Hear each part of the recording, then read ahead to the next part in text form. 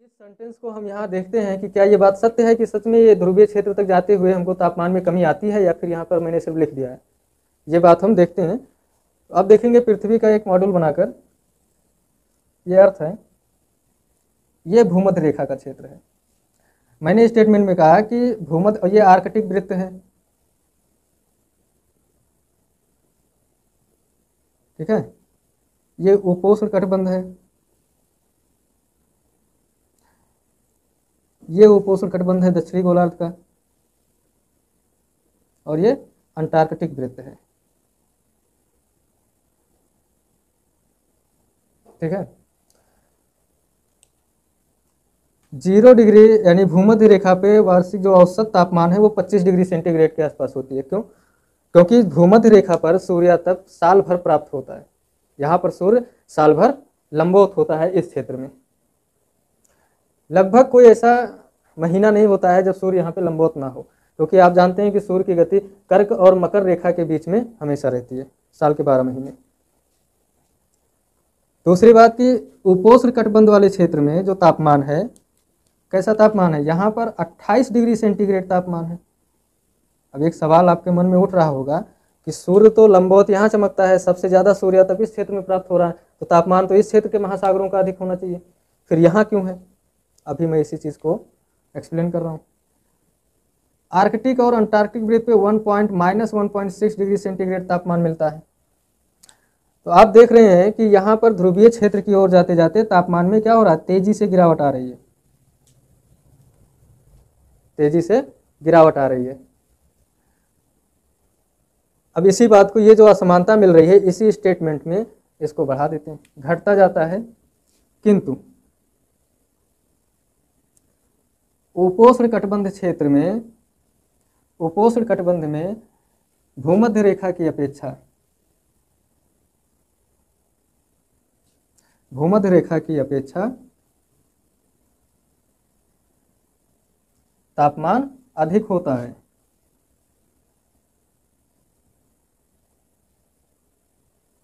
तापमान अधिक होता है।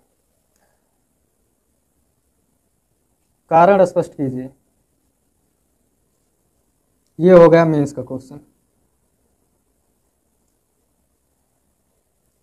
ये पूरा मेंस का और बढ़िया क्वेश्चन है कि आपसे पूछा जा सकता है कि कारण स्पष्ट कीजिए कि भूमध्य रेखा क्षेत्र से ध्रुवों की ओर जाने पर महासागरीय जल का तापमान सामान्यतः क्या होता है? घटता जाता है। किंतु उपोष्ण कटबंध क्षेत्र में तापमान अधिक पाया जाता है। किसकी अपेक्षा? भूमध्य रेखा की अपेक्षा। तो क्या कारण है? आप स्पष्ट कीजिए। ये मेंस का क्वेश्चन हो गया। देखिए, ये क्वेश्चन क्यों बन रहा है? क्योंकि सोचने वाली बात है कि जब विश्वत रेखा पे, भूमध्य रेखा क्षेत्र में सूर्यातप साल के 12 महीने प्राप्त हो रहा है तो फिर यहाँ पे अधिक तापमान ना होकर करके आसपास के क्षेत्रों में उपोष्ण कटबंध में तापमान अधिक है, जबकि यहाँ पे साल के कुछ ही महीनों में सूर्यातप लंबवत प्राप्त होता है। यहाँ हम तीन कारण लेंगे। यहाँ पे तापमान कम होने का क्या कारण है? ठीक है? यहाँ तापमान अधिक होने का क्या कारण है? और आर्कटिक वृत्त पे माइनस में जाने का क्या कारण है? देखिए, सबसे पहले देखते हैं कि भूमध्य रेखा पर तापमान, महासागरों में भूमध्य रेखा पर तापमान कम होने का कारण क्या है? कम होने का कारण। देखिए, भूमध्य रेखा क्षेत्र की एक विशेषता है कि इस क्षेत्र में साल भर संवहनीय वर्षा होती है। जलवायु विज्ञान में आपको यह बताया गया है कि संवहनीय वर्षा कैसे होती है। होता क्या है कि इस क्षेत्र में सूर्य साल भर लंबोत चमकता है सूर्यातप लंबोत प्राप्त होता है इस क्षेत्र को। जब साल भर सूर्यातप प्राप्त होगा, सूर्य लंबोत चमकेगा यहाँ पे तो होगा क्या कि यहाँ की ज़मीन अपेक्षाकृत आसपास के क्षेत्रों से ज़्यादा गर्म होगी।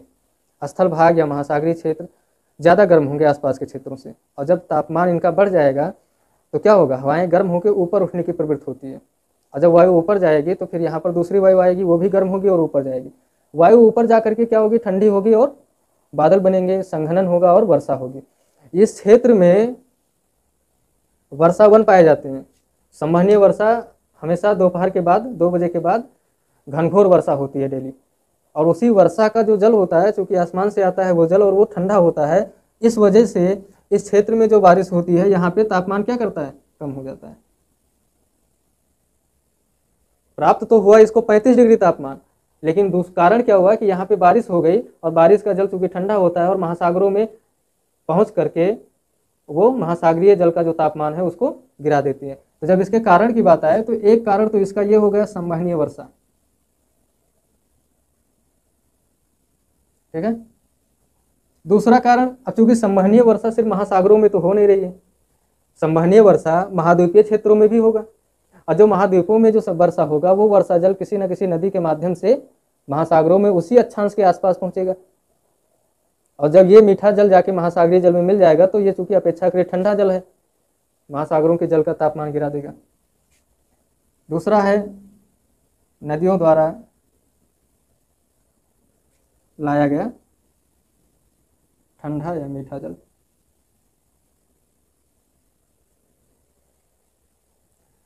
भाई, जैसे अमेजन नदी है, आप ध्यान से देखें तो जो अमेजन नदी है, वो अमेजन नदी दुनिया की बहुत बड़ी बेसिन है, सबसे बड़ी बेसिन है, ठीक है? और उस बेसिन से बहुत भारी मात्रा में जलराशियाँ आकर के अटलांटिक महासागर में मिलती हैं, और उस क्षेत्र के तापमान को, या महासागरों के जो जल है, उसके तापमान को बहुत तेज़ी से वो गिराती हैं। और यही वजह है कि यहाँ 25 डिग्री तापमान हो जाता है, गिर जाता है तापमान। तीसरा कारण हो सकता है कि जब आप देखेंगे कि संवहनीय वर्षा हो रही है और वर्षा के कारण वर्षा के लिए क्या ज़रूरी है? वायु का ऊपर उठना, फिर वायु में संघनन होगा। संघनन की प्रक्रिया पूरी होते ही बादल बनेंगे और बादल बन के फिर बरसेंगे। तो जो बादल बन गए इस क्षेत्र में, वायुमंडल में क्षोभ मंडल में जो बादल बने, क्या वो सूर्य तप को पूरी तरीके से आने देंगे? धरातल तक नहीं। सूर्य तप को रास्ते में रोकेंगे। यहाँ सूर्य तप ही कम प्राप्त हो रहा है। क्यों? क्योंकि पारदर्शिता नहीं है वायुमंडल में। वायुमंडल में पारदर्शिता नहीं है तो तीसरा कारण जो इसका हो जाएगा, वो यही हो जाएगा कि भूमध्य रेखीय वायुमंडल में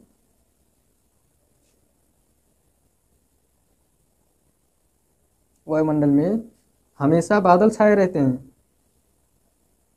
हमेशा बादल छाए रहते हैं। जिस कारण सूर्यातप प्राप्त कम होता है, जिस कारण सूर्यातप कम प्राप्त होता है। ये तीन कारण हैं भूमध्य रेखा पर तापमान कम होने के। ये तीन कारण होंगे संवहनीय वर्षा, जो कि वर्षा का जल चूँकि ठंडा होता है, इस क्षेत्र में जब वर्षा होगा तो महासागरीय क्षेत्र में जब वर्षा जल पहुंचेगा तो क्या होगा? वहाँ का तापमान गिर जाएगा और तापमान 25 डिग्री हो जाएगा। दूसरा कारण है वो तापमान कम होने का कि नदियों द्वारा लाया गया ठंडा व मीठा जल।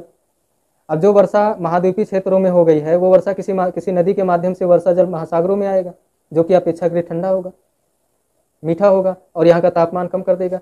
तीसरा कारण है कि जब बारिश हो रही है रोज़ाना वहाँ पे तो वायुमंडल में बादल भी बन रहे होंगे।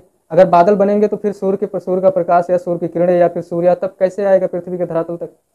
तो सूर्यातप भी कम प्राप्त हो रहा है। तो ये तीन कारण मिल करके ज़ीरो डिग्री अक्षांश पे या भूमध्य रेखीय क्षेत्रों में तापमान 25 डिग्री सेंटीग्रेड बना देते हैं। दूसरा प्रश्न यहाँ से बनता है क्या कारण है कि उपोष्ण कटबंध क्षेत्रों में भूमध्य रेखा की अपेक्षा महासागरीय तापमान अधिक है? ये क्वेश्चन मैं लिख दे रहा हूँ। देखिए, जो भूमध्य रेखा क्षेत्र से ज़ीरो डिग्री अक्षांश पे तापमान अधिक होने के कारण जो हवाएँ ऊपर उठी हैं गर्म होकर के, वो ऊपर जा करके ठंडी भी होंगी। और जब ठंडी होंगी तो वर्षा भी करेंगी और साथ में ये फैलेंगी। फैल करके फिर नीचे की ओर ही अवतलित होंगी और यहाँ पर हाई प्रेशर बेल्ट बन जाएगा। कहाँ पे? अब जब ये ऊपर से गिर रही हैं हवाएँ तो कहाँ गिरेंगी? उपोष्ण कटबंध क्षेत्रों में ही गिरेंगी। ये हवाएँ यहाँ से ठंडी हो करके जब ऐसे ऊपर उठेंगी और ऊपर उठ के ऐसे फैल के गिरेंगी तो इसी के आसपास आके सतह पे गिर रही हैं। तो यहाँ पे वायु का अवतलन होता है। और अवतलन के कारण वायुदाब यहाँ अधिक होता है। तो आप कह सकते हैं कि पहला जो इसका कारण बनेगा कि यहाँ पे तापमान अधिक क्यों है? कि उपोष्ण उच्च वायुदाब की पेटी है। उच्च वायुदाब की पेटी है। अब उच्च वायुदाब होने का क्या फ़र्क पड़ता है, क्या प्रभाव पड़ता है? भाई, अगर उच्च वायुदाब है, यहाँ पे हवायु वायु, जो वायु है, वो अवतलित हो रही है तो वायु के अवतलन के कारण यहाँ वायु ऊपर तो उठेगी नहीं। परिणाम ये होगा कि यहाँ वर्षा नहीं होगी। और जब वर्षा नहीं होगी तो ठंडा जल नहीं मिलेगा इस क्षेत्र को। और सूर्य तो साल के कुछ महीने यहाँ चमक ही रहा है। दूसरी चीज़ कि जब यहाँ वायु का अवतलन हो रहा है तो वायुमंडल एकदम पारदर्शी होगा, एकदम साफ़ वायुमंडल होगा तो जो सूर्य तप आएगा वो पर्याप्त मात्रा में इस क्षेत्रों में, यहाँ पे सूर्य तप ठीक ठाक मात्रा में पड़ेगा। और फिर वर्षा भी नहीं हो रहा है, सूर्य तब भी प्राप्त हो रहा है तो इसका तापमान तो अधिक होगा ही। तो पहला फैक्टर ये कारण ये आपको एक्सप्लेन करना होगा कि उपोष्ण उच्च वायुदाब की पेटी है। अब उच्च वायुदाब की पेटी होने के कारण क्या प्रभाव पड़ता है?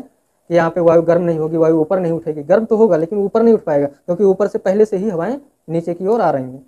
जब ऊपर नहीं उठेंगी तो वर्षा नहीं होगा। और जब वर्षा नहीं होगा तो ठंडा जल नहीं आएगा यहाँ पे।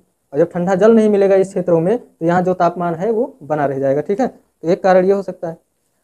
दूसरा, अब चूँकि सूर्य लंबोत चमक ही रहा है तो सूर्य लंबोत चमक रहा है और ठीक ठाक मात्रा में सूर्य तक प्राप्त हो रहा है तो यहाँ पे आप दूसरा कारण ये दे सकते हो।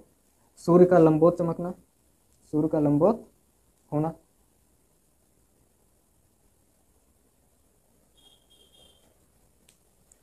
जब सूर्य का लंबोत, यहाँ पे सूर्य लंबोत है तो वायुमंडल भी साफ़ है हवाएँ अवतलित हो रही हैं तो सूर्य तक पर्याप्त मात्रा में यहाँ प्राप्त हो रहा है। तीसरा कारण के तौर पे आप दे सकते हैं कि इस क्षेत्र में मरुस्थल पाए जाते हैं। इस क्षेत्र में मरुस्थलों की उपस्थिति। अब ये कैसे इस ता, इसके तापमान को बनाए रखते हैं? भाई मरुस्थल हैं तो उनकी प्रवृत्ति होती है कि सूर्या तक थोड़ा सा भी प्राप्त करेंगे तो ऐसे ही वो गर्म हो जाएँगे। और जब कोई गर्म हो जाता है तो अपने आसपास थोड़ा बहुत क्षेत्रों को तो वो गर्म करेगा ही। आप देखेंगे कि जितने बड़े मरुस्थल हैं, वो इसी कर्क रेखा और मकर रेखा को पकड़ के आप चलिए तो आपको सारे बड़े मरुस्थल मिल जाएँगे। जैसे सहारा मरुस्थल है, थार मरुस्थल है, पश्चिमी ऑस्ट्रेलियन मरुस्थल है, ये सब क्या है? ये सब इसी बेल्ट में पाए जाते हैं। और जब ये मरुस्थल जल्दी गर्म हो जाएँगे तो इनके जो गर्म, गर्मी है, उसका प्रभाव महासागरों पर भी पड़ेगा। इस वजह से भी महासागरीय तापमान बढ़ा रहता है। तो ये तीन पॉइंट इसके कारण है कि यहाँ पे तापमान अधिक क्यों है। इस पे लिखते हैं। एक प्रश्न इस पे ये बनता है कि क्या कारण है? क्या कारण है कि आर्कटिक तथा अंटार्कटिक वृत्त के सहारे, वृत्त के क्षेत्र में।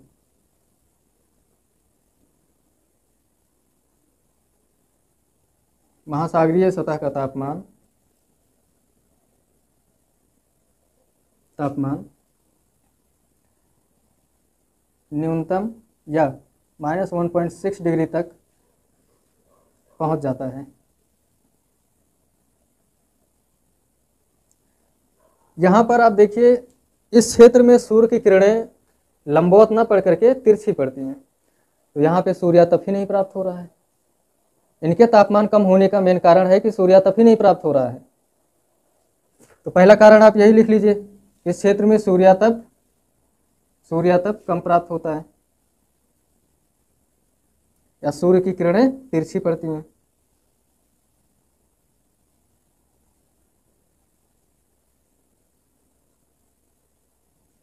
जब सूर्य की किरणें तिरछी पड़ेंगी सूर्य तब बहुत कम प्राप्त होगा तो इस क्षेत्र के गर्म होने का सवाल ही नहीं बनता।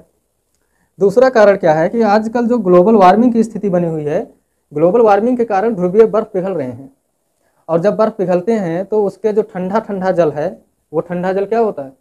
महासागरों में मिल जाते हैं और आसपास के क्षेत्रों का तापमान तेज़ी से गिरा देते हैं। तो यहाँ पे आप लिख लीजिए, ध्रुवीय बर्फ़ का पिघलना। ये दो कारण हैं कि ध्रुवीय क्षेत्र के तापमान में तेज़ी से गिरावट आ जाती है। दोनों कारण पे आप 25-25 शब्द भी लिखेंगे तो एक छोटा मेंस का छोटा क्वेश्चन जो आता है शॉर्ट में लिखने के लिए 50 शब्दों में